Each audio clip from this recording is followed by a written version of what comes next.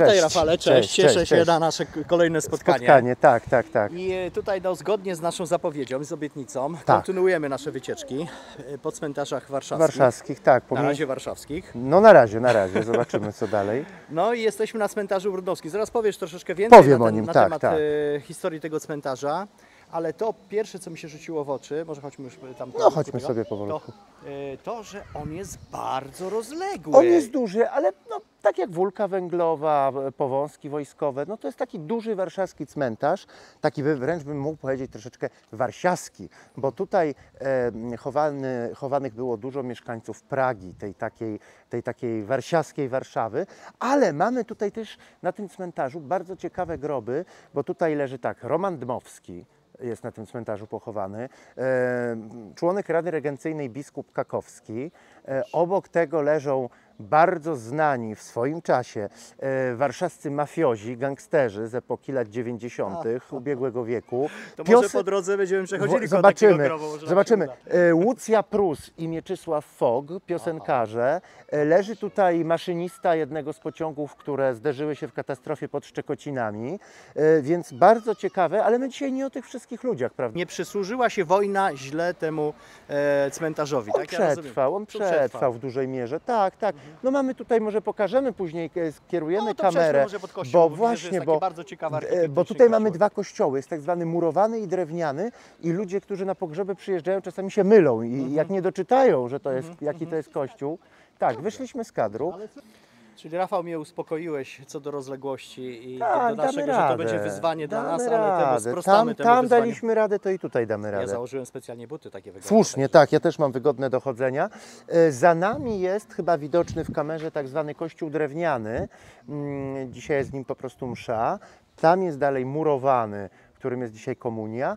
E, Tak jak e, chyba Ci już wspominałem tutaj kuluarowo, mylą się ludzie w Warszawie. Jak nie doczytają, czy to jest w murowanym, czy w drewnianym, to potem biegają między nimi, jak przyjeżdżają na pogrzeby. No ale są tutaj też piękne nagrobki, my stoimy obok kaplicy, e, tam, prawda, anioł rzeźbiony. No ten cmentarz ma swoje lata mm, i ma bardzo logiczne oznakowanie. Więc tutaj, Michale, ja Ci chcę powiedzieć, że Ty się też trochę martwisz, czy my damy radę, że dużo, ale tu się nie błądzi. Ten cmentarz słynny jest bardzo logiczne oznakowanie, naprawdę nawet mapy nie potrzeba. Jak znasz adres grobu, to dojdziesz od punktu do punktu. To może zacznijmy właśnie Więc na to prowadź, konto. prowadź. To idziemy, idziemy, Idziemy. chodźmy.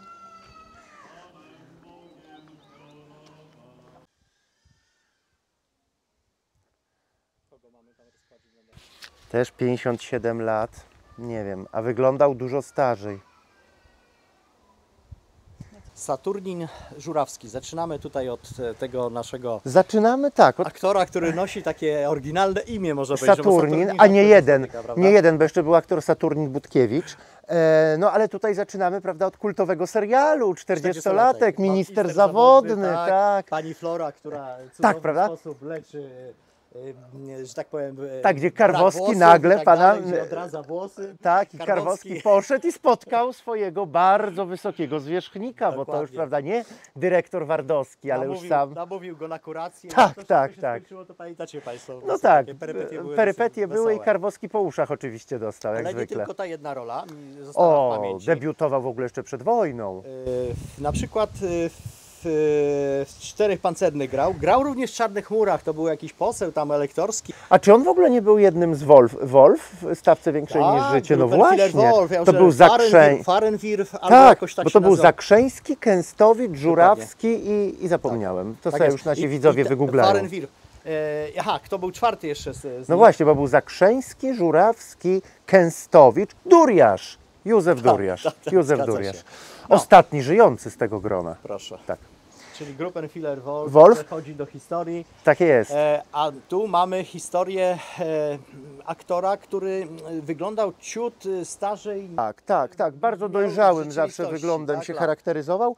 No tutaj e, muszę powiedzieć, kiedy ostatnio tutaj byłem, kilkanaście, dziesiąt miesięcy temu, nie było zdjęcia. A teraz bardzo miły akcent, bo nie dość, że się pojawiło zdjęcie, to jeszcze w takiej ramce stylizowanej na e, kadr filmowy. E, Myślę, idealne zdjęcie dla aktora.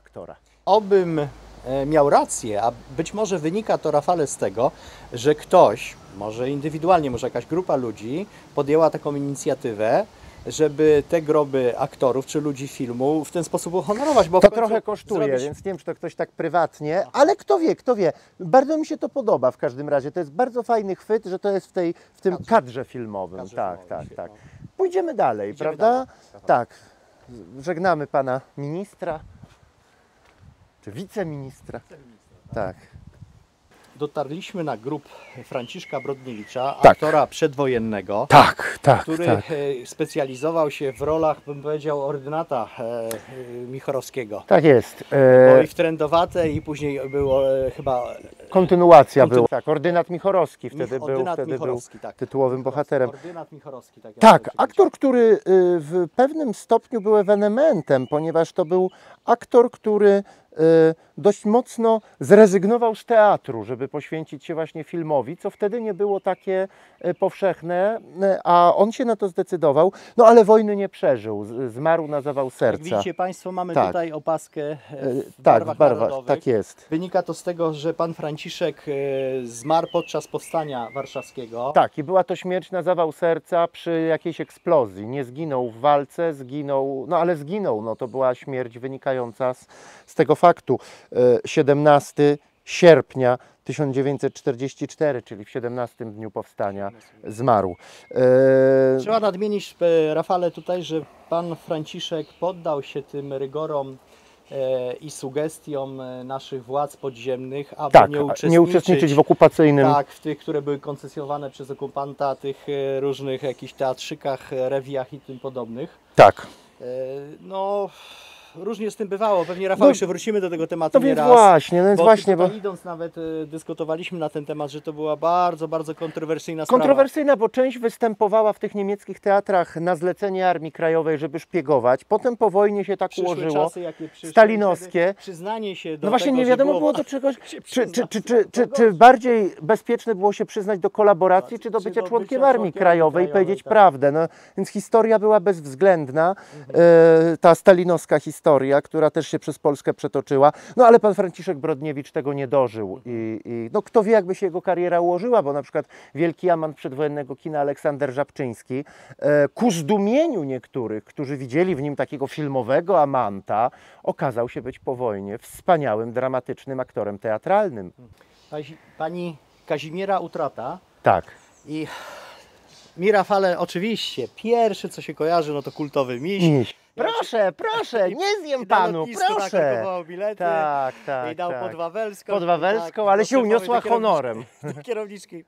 Kierowniczka machała z aprobatą głową, że można przyjąć. Ale jak przyszło co do czego, to odrzuciła tę podwawelską, żeby jej, prawda, pan e, Ochucki nie szantażował jakąś tam kiełbasą. bombonierę, on mówi, ale ja dałem podwawelską. Proszę, proszę, nie zjem. Tak, tak. Zabawna scena. Aczkolwiek trzeba tutaj powiedzieć o dwóch rzeczach równie ważnych jak miś. Po pierwsze, pierwsza wykonawczyni piosenki o okularnikach.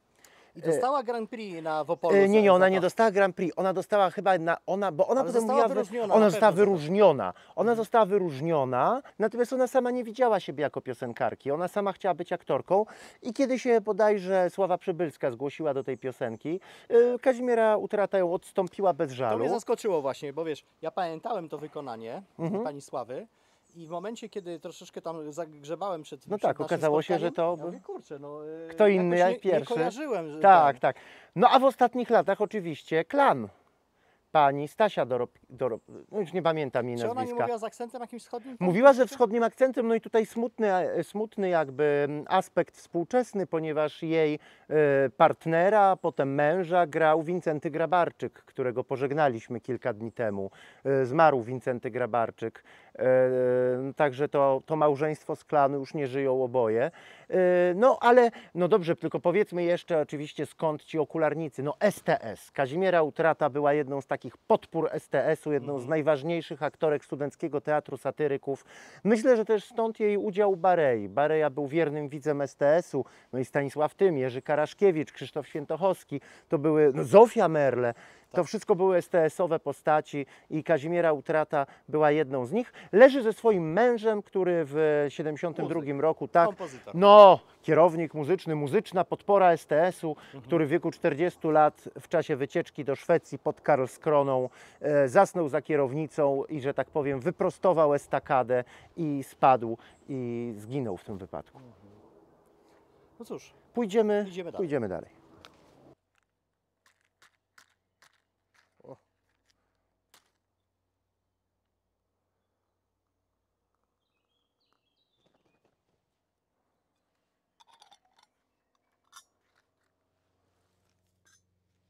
Osoby, która była poddana pewnemu rodzaju ostracyzmu i takiej troszeczkę No, takiego no nie- sabotowania przez środowisko. Znaczy nie troszeczkę, było to dość wredne, ponieważ Mhm. Adolf Dymsza był już w tym stanie zdrowia, że ona nie była w stanie się nim opiekować i przekazała go w profesjonalne ręce.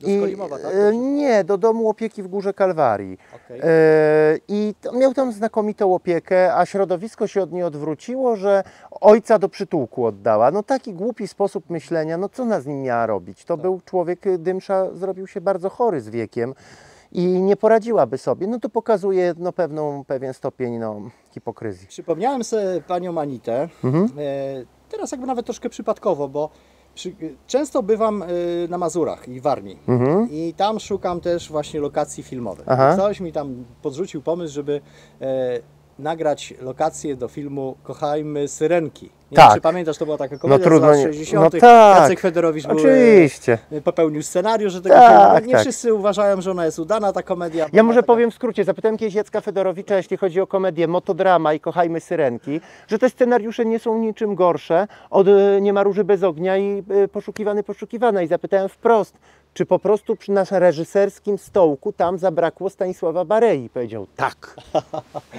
No proszę, proszę, no to ciekawe jest rzeczywiście. I, I tam, ja nie wiem, czy ona jest w ogóle tam na liście płac wymieniona, natomiast y, oglądam, patrzę, pani Anita, no i to była rola taka chyba... tam nie pamiętam stamtąd. Była, naprawdę pojawiła się w pewnym Tak? momencie. Jest taka sytuacja, bo, dlatego możesz mnie zapamiętać, bo ona tam się praktycznie nie odzywa. Tam Aha. jest taka gonitwa, gdzie Jacek Federowicz wchodzi do jakiegoś biura, coś tam załatwić właśnie w związku z do jakiegoś takiej agencji Hmm. rozrywkowej Tak, tak, tak, tak. Tam siedzi e, dwóch panów, między innymi Glinka, którego też będziemy dzisiaj odwiedzali. Tak. E, jeszcze jeden aktor, którego zapomniałem, kto to był, Aha. i właśnie ona. I Anita tam się, no. Tak, i tam Ha. się taka jakaś gonitwa między nimi nawiązuje, No no tak. kawałek sukni zrywa i tego. I, i- I ona była tak charakterystyczna, był pewien szczegół na twarzy, który ją tak wyróżniał i to od razu było widać, Aha. że to, jest, że to jest ona. Natomiast no taka e, większa rola, no to oczywiście... No Borewicz, Borewicz, pierwszy pierwszy odcinek, tak, Major tak, tak. opóźnia akcję, tak, dłużniczka e, gangu Tak, i Borewicz, żeby się uwiarygodnić w oczach gangu inżyniera, odbiera, ściąga odbiera- dług, ściąga odbiera dług, dług, tak, tak, no to chyba rola, z której najbardziej ją wszyscy skojarzą, bo to spora rola i z samym Bronisławem Cieślakiem. Nie było, nie było tych ról dużo. Nie było. Nie było tych ról dużo, różne względy się na to złożyły, no nie o wszystkich będziemy Jak mówić. się y, tak y, starałem przyjrzeć na fotosach twarzy pani Anity i szukałem tego podobieństwa do taty, to jest. Jest, jest, jest, widać jest, to jest, podobieństwo, dokładnie. No tak, no, smutny, smutny życiorys, ale no byliśmy, zapaliliśmy lampkę, tak. możemy. Widać, że ktoś przychodzi, bo są Tak, świeże tak, tak, tak, tak, ten grób tak, tak. wygląda, mimo tego, że jest skromny, wygląda Wygląda ładnie, tak. No możemy chyba pójść, pójść Myślę, dalej. tak Mhm.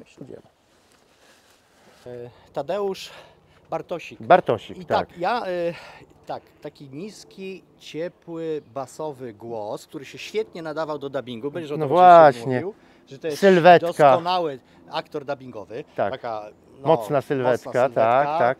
mężczyzny i ja tak jak sobie starałem właśnie przypomnieć jego w, w jakiejś takiej roli charakterystycznej, no to w tym, y, w Klosie. W Klosie Stawce, oczywiście, tak. Tak. był dyrektorem tam... e, Ja też, e, ja też pamiętam e, z takiego filmu Lekcja martwego języka Janusza Majewskiego, jak on gra wojskowego, bierze kąpiel w takiej wielkiej bali, ale dla mnie to jest wspomnienie z dzieciństwa. To była bajka o takim szewczyku, za którego tam krasnoludki pracowały i Bartosik grał ludożercę, e, który chciał zjeść te krasnoludki i miał taką piosenkę, którą ja z dzieciństwa zapamiętałem całą.